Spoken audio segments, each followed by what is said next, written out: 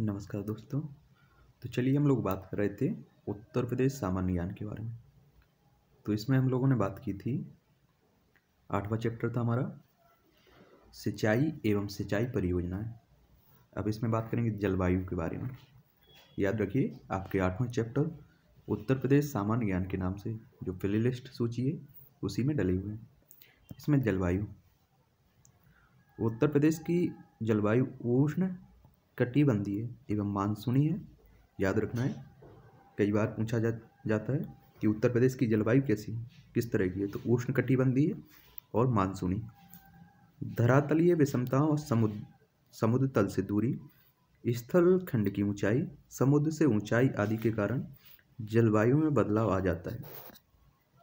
राज्य में औसत तापमान जनवरी में, जनवरी माह में बारह दशमलव पचास डिग्री सेंटीग्रेड से सत्रह दशमलव पचास डिग्री सेंटीग्रेड रहता है, जबकि मई जून में यह सत्ताईस दशमलव पाँच से उनतालीस डिग्री सेंटीग्रेड तक पहुँच जाता है।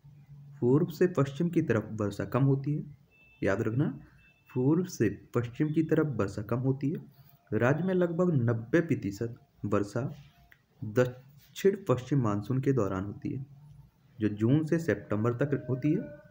वर्षा के महीने में राज्य के पूर्वी हिस्से में बाढ़ एक आव आवती समस्या है, जिससे फ़सल, जनजीवन, संपत्ति का भारी नुकसान पहुँचता है। मानसून की लगातार विफलताओं के परिणाम स्वरूप सूखा पड़ता है तथा फ़सल का नुकसान होता है। उत्तर का पर्वतीय भाग हिमाच्छादित रहता है। शीतकाल में कड़ाके की ठंड पड़ती है तथा कुछ भागों में हिमपात भी होता है। ऋतु बात करते हैं ऋतु के बारे में। तो सामान्यतः उत्तर प्रदेश में तीन ऋतुआ, ऋतुएँ होती हैं। कौन कौन सी? शीत ऋतु फिर आपकी ग्रीष्म ऋतु, वर्षा ऋतु।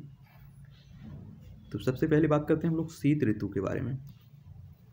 शीत ऋतु नवंबर माह से शुरू होती है, जबकि पश्चिमोत्तर भारत, उच्च भारत की पेटी भारत की पेटी के प्रभाव में आ जाता है। जनवरी में सर्वाधिक ठंड महीना होता है, ठंड का महीना यहाँ स्वच्छ आकाश सुहाना मौसम, निम्न ताप एवं आर्द्रता, आदि अधिक मौसमी तापांतर और मंद चलने वाली उत्तरी व उत्तरी पश्चिमी पवन इस ऋतु की विशेषताएँ।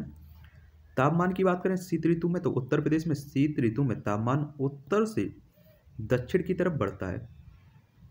प्रदेश के दक्षिणी पठारी एवं पहाड़ी एवं पठारी भाग में शीत ऋतु में सर्वाधिक औसत अधिकतम तापमान अट्ठाईस दशमलव तीन सेंटीग्रेड होता है, औसतन न्यूनतम तापमान तेरह दशमलव तीन डिग्री सेंटीग्रेड रहता है। प्रदेश के पर्वतीय क्षेत्र और पश्चिमी मैदानों भागों में औसत तापमान सबसे न्यूनतम दस डिग्री सेंटीग्रेड रहता है। मध्य मैदानी क्षेत्र में औसतन अधिक तापमान सत्ताईस दशमलव दो डिग्री सेंटीग्रेड तथा औसतन न्यूनतम तापमान ग्यारह दशमलव सात डिग्री सेंटीग्रेड रहता है। पश्चिमी मैदान क्षेत्र में समांतर, तापांतर सर्वाधिक और पूर्वी मैदानी क्षेत्र में तापांतर सबसे कम रहता है। फरवरी में तापमान बढ़ जाता है। ठीक है? हवाएँ। शीत ऋतु में हवाएँ स्थल से चलती हैं, अतः शुष्क होती हैं, जिनसे वर्षा प्राप्त नहीं होती है। दिसंबर एवं जनवरी माह में कभी पाला कभी कभी पाला पड़ता है, तथा सूर्योदय के पूर्व और बाद में दो तीन घंटे घना कोहरा छा जाया जाया करता है। पर्वतीय क्षेत्रों में हिमपात होता है। शीत ऋतु में वर्षा की बात करें तो जनवरी, फरवरी मास में भूमध्य सागरीय क्षेत्रों में उत्पन्न होने वाले चक्रवात, ईरान, अफ़गानिस्तान, पाका, पाकिस्तान, पंजाब, हरियाणा हरियाणा होते हुए पश्चिमी उत्तर प्रदेश में प्रवेश कर मौसम में अचानक परिवर्तन ला देते हैं। कभी कभी इन चक्रवातों की एक शाखा फारस की खाड़ी तथा अरब सागर से होती हुई यहाँ तक पहुँच जाती है। इनके द्वारा पश्चिमी उत्तर प्रदेश में 10 सेंटीमीटर तक वर्षा हो जाती है। यह वर्षा रबी की फ़सल के लिए विशेष लाभदायक होती है। इस ऋतु में आने वाले चक्रवातों की संख्या तीन से पाँच तक होती है। कभी कभी चक्रवातों के साथ ओलों की भी वर्षा होती है। शीतकालीन चक्रवातों का उत्तर प्रदेश के उत्तरी एवं पश्चिमी क्षेत्रों में सात से दस सेंटीमीटर तक वर्षा हो जाती है। सबसे कम वर्षा उत्तर प्रदेश के दक्षिणी पठारी प्रदेश के, झांसी जालौन हमीरपुर बांदा ललितपुर जिलों में पाँच से सात दशमलव पाँच सेंटीमीटर तक होती है। मैदानी क्षेत्रों में वर्षा सात दशमलव पाँच से दस सेंटीमीटर तक अंकित की जाती है। अपनी दूसरी ऋतु है ग्रीष्म ऋतु। उत्तर प्रदेश में ग्रीष्म ग्रीष्म ऋतु मार्च से प्रारंभ होकर मध्य जून तक रहती है। मार्च से निरंतर तापमान में वृद्धि होती जाती है। मई में तापमान सर्वाधिक हो जाता है। इस मास में झुलसा देने वाली भयंकर एवं असहनीय गर्मी पड़ती है।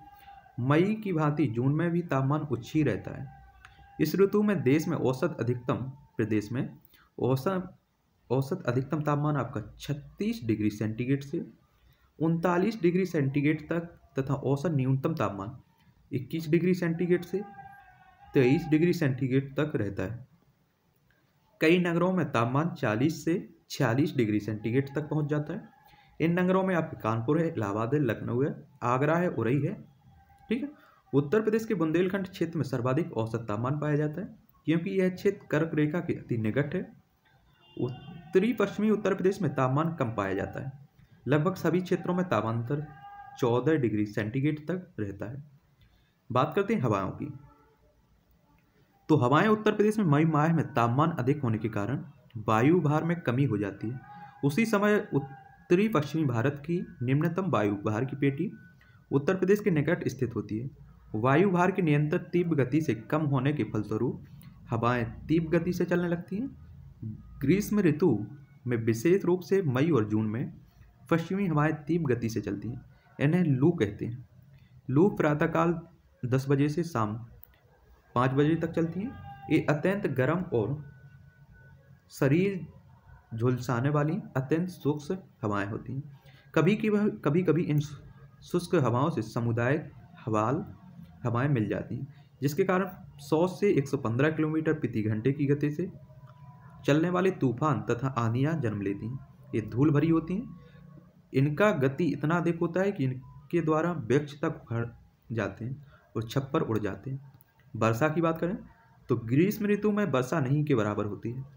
अप्रैल, मई, जून में कभी कभी शुष्क एवं आद्य हवाओं के मिलने के परिणाम स्वरूप मैदानी क्षेत्रों में वर्षा होती है। इस वर्षा से झुलसाने वाली गर्मी में राहत मिलती है। ग्रीष्मकालीन वर्षा के साथ साथ कभी ओले भी आ जाते हैं। वर्षा का औसतन 10 से सेंटीमीटर से 25 सेंटीमीटर तक रहता है। वर्षा की मात्रा सर्वाधिक पर्वतीय क्षेत्रों में, फिर मैदानी और फिर बुंदेलखंड क्षेत्र में प्राप्त होती है। अब बात करते हैं वर्षा ऋतु। उत्तर प्रदेश में वर्षा ऋतु प्रारंभ जून से, प्रारंभ जून के तीसरे या चौथे सप्ताह से होती है, जबकि दक्षिणी पश्चिमी मानसून हवाएँ, हवाओं का प्रदेश, प्रवेश होता है। बंगाल की खाड़ी का मानसून बिहार राज्य के मैदानी भागों में होता हुआ उत्तर प्रदेश के पूर्वी भाग में प्रवेश करता है, इसे पूर्वा कहते हैं। प्रथम मानसूनी वर्षा जून के अंतिम सप्ताह में होती है। जुलाई तथा अगस्त माह में सबसे अधिक वर्षा होती है। वर्षा के कारण जुलाई और अगस्त माह का तापमान जून की अपेक्षा काफ़ी कम हो जाता है। इन दिनों वर्षा नहीं होती है और आकाश स्वच्छ रहता है। तापमान भी बढ़ जाता है, लेकिन हर दिशा में तापमान मई, जून माह से कम ही रहता है। सितंबर में वर्षा की मात्रा नियंत्रित कम होती रहती है तथा वर्षा के दिनों में मध्यावधि भी बढ़ती जाती है। इसलिए सितंबर माह में तापमान अधिक हो जाता है। प्रदेश में औसतन तापमान 32 डिग्री सेंटीग्रेड से 34 डिग्री सेंटीग्रेड तक और औसत न्यूनतम तापमान 25 डिग्री सेंटीग्रेड से तक, पच्चीस डिग्री सेंटीग्रेड तथा तापमान सात से आठ डिग्री सेंटीग्रेड तक पाया जाता है। इस ऋतु में पश्चिम, पश्चिमी उत्तर प्रदेश में तापमान कुछ अधिक पाया जाता है। हवाओं की बात करें तो वर्षा ऋतु में हवाएँ आपकी, वर्षा एवं हवाएँ उत्तर प्रदेश में बंगाल की खाड़ी के मानसून से वर्षा होती है, क्योंकि ये हवाएँ जब उत्तर की तरफ़ बढ़ती हैं तो हिमालय की उच्च पर्वत श्रृंखलाओं को पार नहीं कर पाती हैं और हिमालय की श्रृंखलाओं के सहारे सहारे गंगा के मैदानी भाग में पश्चिमी भागों की ओर अग्रसर होती हैं। चूँकि यह मानसून शाखा उत्तर प्रदेश में पूर्व व दक्षिण पूर्व से प्रवेश करती हैं, अतः यह पूर्वी एवं दक्षिणी पूर्वी हवा के चक्रपात भी चलते हैं, जिसके द्वारा राज्य में पर्याप्त वर्षा होती है। बात करते हैं अरब सागर की मानसून हवाओं की। तो अरब सागर की मानसून हवाओं की उत्तरी शाखा गुजरात, कच्छ से होकर उत्तर पूर्वी की ओर बढ़ती हुई पंजाब तक पहुँच जाती है। इन मानसून हवाओं के द्वारा नाम मात्र की वर्षा होती है। इस मानसून का उत्तर प्रदेश के किसी क्षेत्र पर कोई प्रभाव नहीं पड़ता है। लेकिन इस मानसून की उत्तरी शाखा जब उड़ीसा तट से उत्पन्न चक्रवात से दक्षिणी पठारी भाग में मिलती है तो पर्याप्त वर्षा हो जाती वर्षा के विवरण की बात करें हम लोग तो उत्तर प्रदेश में वर्षा का विवरण बड़ा ही आसान आसान है। पूर्वी मैदान क्षेत्र में 122 सॉरी 112 सेंटीमीटर, मध्यवर्ती मैदानी क्षेत्रों में चौरानवे सेंटीमीटर, पश्चिमी मैदानी क्षेत्रों में चौरासी सेंटीमीटर और दक्षिणी पठारी क्षेत्रों में इक्यानवे सेंटीमीटर अंकित की जाती है। इसका कारण वर्षा का मानसून पर निर्भर होना है चूँकि हवाएँ हिमालय पर्वत के साथ चलती हैं, इसलिए जो स्थान हिमालय पर्वत के समीप हैं। वहाँ अपेक्षाकृत अधिक वर्षा होती है, जबकि उन स्थानों पर वर्षा कम होती है जो हिमालय से दूर हैं। साथ ही ज्यो ज्यों यह मानसून प्रदेश के पश्चिमी भाग की ओर चलता है, वर्षा की मात्रा भी कम होती जाती है, क्योंकि यह नमी वाले स्रोतों से दूर हो जाता है। उत्तर प्रदेश की संपूर्ण वर्षा का पचहत्तर से अस्सी प्रतिशत भाग वर्षा ऋतु में बंगाल की खाड़ी के मानसून से प्राप्त होता है, याद रखिए। ठीक है? संपूर्ण वर्षा का लगभग साठ प्रतिशत भाग जुलाई और अगस्त माह में होता है। सितंबर में वर्षा की मात्रा घटती जाती है और वर्षा रहित दिनों की अंतरावधि भी बढ़ जाती है। सितंबर के अंत तक तथा अक्टूबर में मानसून लौटना प्रारंभ कर देता है। इन दिनों आकाश स्वच्छ एवं सुहाना होता है। विदेश में मानसून द्वारा वर्षा विश्वासजनक नहीं होती है।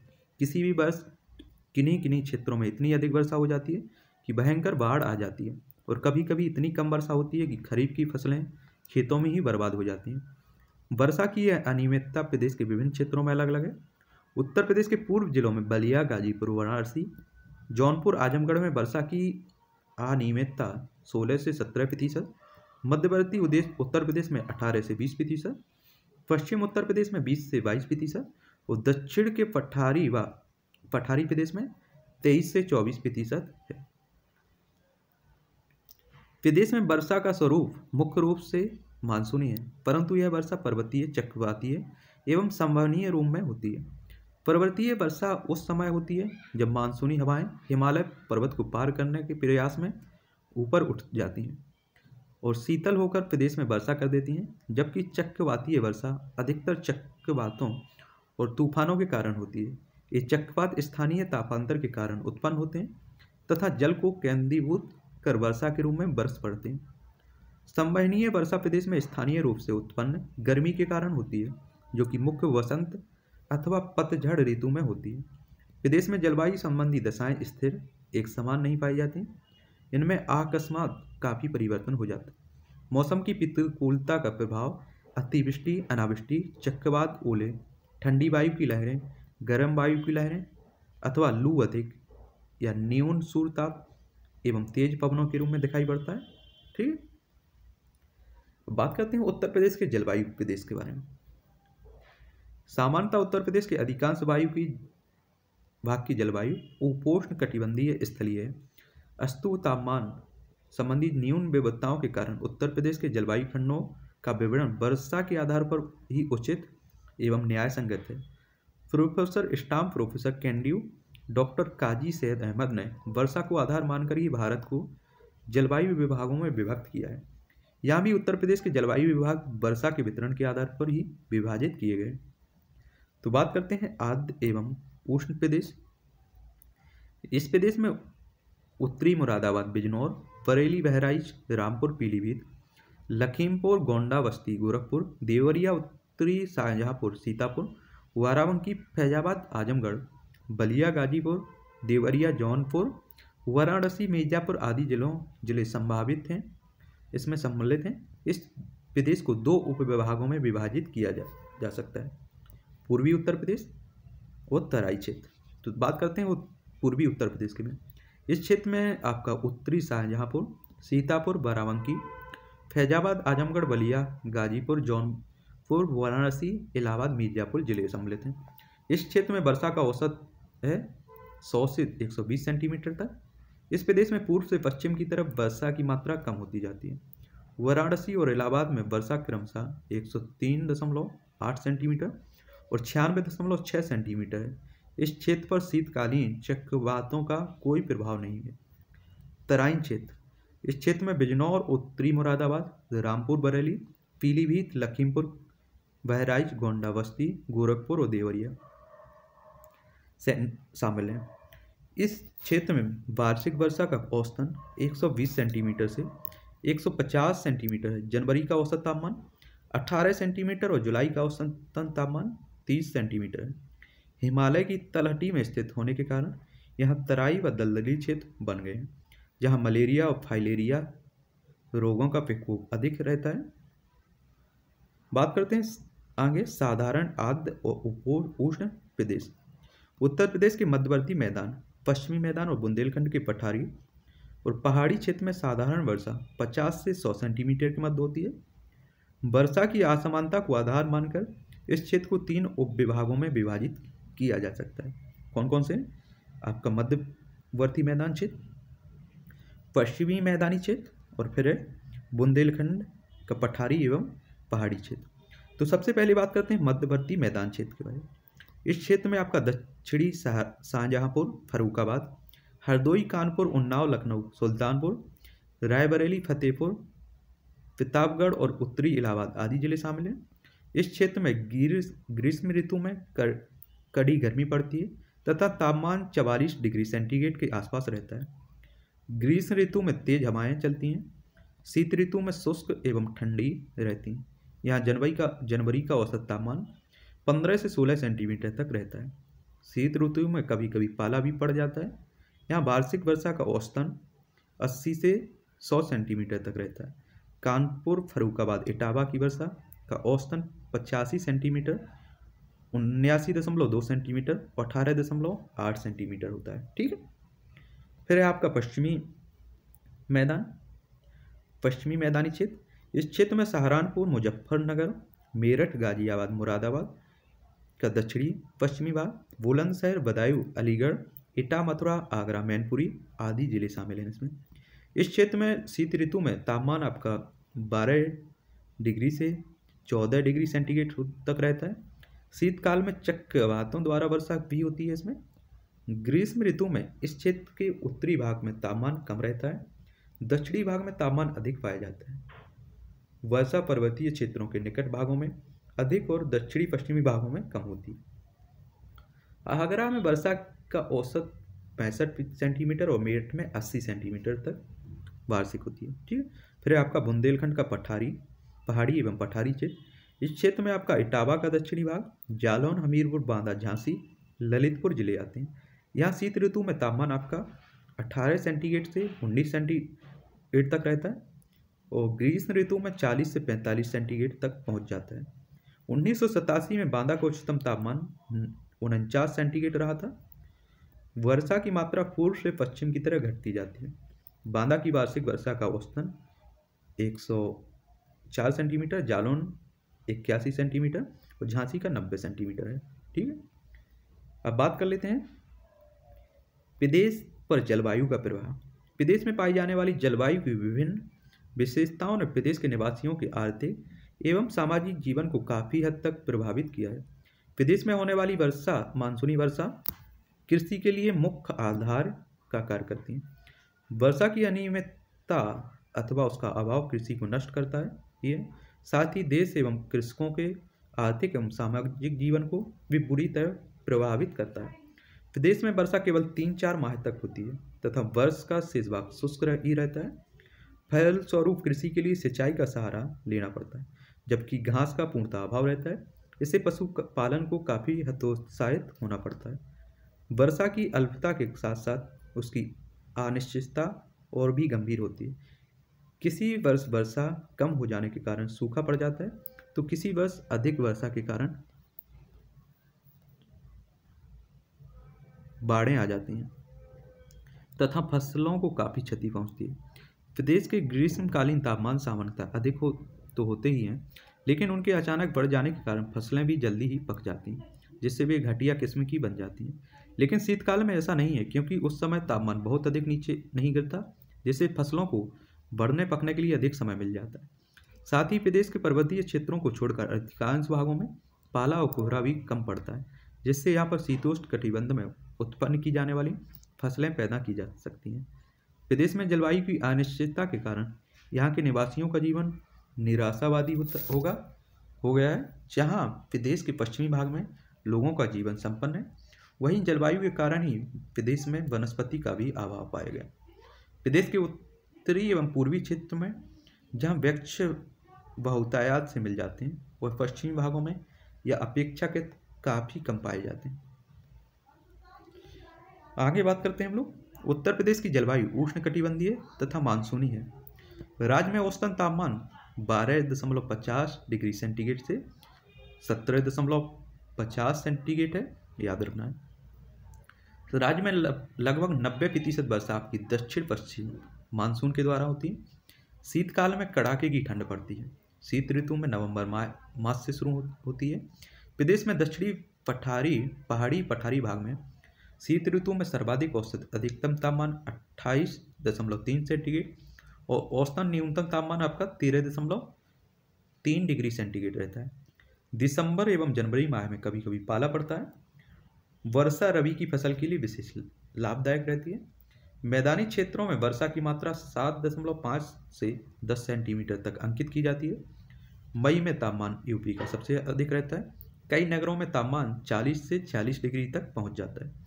उत्तर प्रदेश में वर्षा का वितरण बड़ा ही आसमान है। संपूर्ण वर्षा का लगभग 60 प्रतिशत भाग जुलाई अगस्त माह में प्राप्त होता है। किसी वर्ष किन्हीं किन्हीं क्षेत्रों में इतनी अधिक वर्षा होती है कि भयंकर बाढ़ आ जाती है। उपरवर्तीय वर्षा उस समय होती है जब मानसूनी हवाएँ हिमालय पर्वत को पार करने का प्रयास प्रयास में ऊपर उठती जाती हैं। पूर्वी उत्तर प्रदेश क्षेत्र में उत्तरी शाहजहाँपुर, सीतापुर बाराबंकी फैजाबाद, आजमगढ़, वलिया, गाजीपुर, जौनपुर, वाराणसी, इलाहाबाद, मिर्जापुर ज़िले सम्मिलित हैं। बुंदेलखंड की पठारी व पहाड़ी क्षेत्रों में इटावा का दक्षिणी भाग, जालौन, हमीरपुर, बांदा, झांसी, ललितपुर ज़िले सम्मिलित हैं। प्रदेश में वर्षा केवल तीन चार माह तक होती है तथा वर्ष का शेष भाग शुष्क रहता है। किसी वर्ष वर्षा कम हो जाने के कारण सूखा पड़ जाता है तो किसी वर्ष अधिक वर्षा के कारण बाढ़ आ जाती है। ठीक है? तो ये था हमारा उत्तर प्रदेश की जलवायु। अब इससे संबंधित आपके जो प्रश्न हैं, उन्हें भी देख लेते हैं, जितने भी प्रश्न होंगे। शीत पहला क्वेश्चन है आपका। शीत ऋतु में उत्तर प्रदेश के किस क्षेत्र का तापमान सबसे कम रहता है? तो आपको बता देना है, पश्चिमी गंगा मैदान का। सी ऑप्शन है। क्वेश्चन नंबर दूसरा है, वर्षा ऋतु में उत्तर प्रदेश में कितने प्रतिशत वर्षा होती है? तो याद रखना, पचहत्तर से अस्सी प्रतिशत। सॉरी पचहत्तर से पचासी प्रतिशत। सी ऑप्शन है। क्वेश्चन नंबर तीन, वर्षा के वितरण के आधार पर उत्तर प्रदेश को कितने जलवायु विभागों में विभाजित किया गया है? तो याद रखना है, दो। ठीक है? क्वेश्चन नंबर चार। उत्तर प्रदेश में वर्षा मुख्यतः किस मानसून से होती है? तो याद रखना, दक्षिण पश्चिम, डी ऑप्शन है। क्वेश्चन नंबर पाँच, उत्तर प्रदेश में सर्वाधिक वर्षा वाला क्षेत्र कौन सा है? तो याद रखना, पाँच।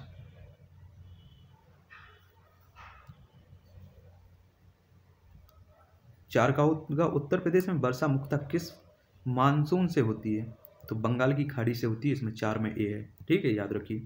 ठीक है? और उत्तर प्रदेश में सर्वाधिक वर्षा वाला क्षेत्र कौन सा है? तो इसमें होगा आपका तराई क्षेत्र। ठीक है? चार का ए, तीन का है बी। ठीक है? और पाँच का क्या है? डी। क्वेश्चन नंबर छः। उत्तर प्रदेश में शीत ऋतु में तापमान किस ओर से किस ओर कम हो जाता है? तो याद रखना है आपको, दक्षिण से उत्तर। ए ऑप्शन सही है। क्वेश्चन नंबर सात। क्वेश्चन नंबर सात है, उत्तर प्रदेश में सबसे कम गर्मी कहाँ होती है?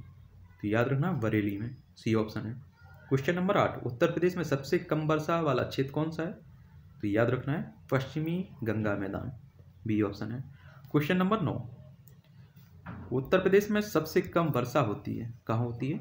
तो आपको बता देना है, मथुरा में। ठीक है? उत्तर प्रदेश में सबसे कम वर्षा होती है, मथुरा में, ठीक क्वेश्चन नंबर दस, उत्तर प्रदेश की जलवायु निम्नलिखित में से किस प्रकार की है? तो याद रखना है आपको उष्ण कटिबंधीय मानसूनी, ठीक है? कई बार पूछा लेता है डायरेक्ट। ग्यारहवा क्वेश्चन है, राज्य में जनवरी में औसतन तापमान कितना रहता है? तो याद रखिए, बारह दशमलव पचास सेंट डिग्री सेंटीग्रेड से सत्रह दशमलव पचास डिग्री सेंटीग्रेड तक। क्वेश्चन नंबर बारह, उत्तर प्रदेश में कितनी ऋतुएँ होती हैं? तो आपको याद है, तीन ऋतुएँ होती हैं। क्वेश्चन नंबर आपका है कौन सा? तेरह। शीत ऋतु कब से शुरू होती है? तो आपको बता देना है। नवंबर से। कब से? नवंबर से। क्वेश्चन नंबर चौदह। प्रदेश में सबसे अधिक तापमान कब होता है? तो याद रखना, मई में। क्वेश्चन नंबर पंद्रह। चक्रवातीय वर्षा क्यों होती है? तो याद रखिए, चक्रवातों अथवा तूफानों के कारण। क्वेश्चन नंबर सोलह। पश्चिमी मैदानी क्षेत्र में शीत ऋतु में तापमान कितना रहता है? तो आपको याद रखना है, बी। दस दशम बारह दशमलव सॉरी बारह डिग्री सेंटीग्रेड से चौदह डिग्री सेंटीग्रेड तक। बी ऑप्शन है सोलह का। ठीक है? तो ये था आपका जलवायु से संबंधित चैप्टर आगे बात करेंगे हम लोग वन संपदा से संबंधित। ठीक है? वनों से संबंधित।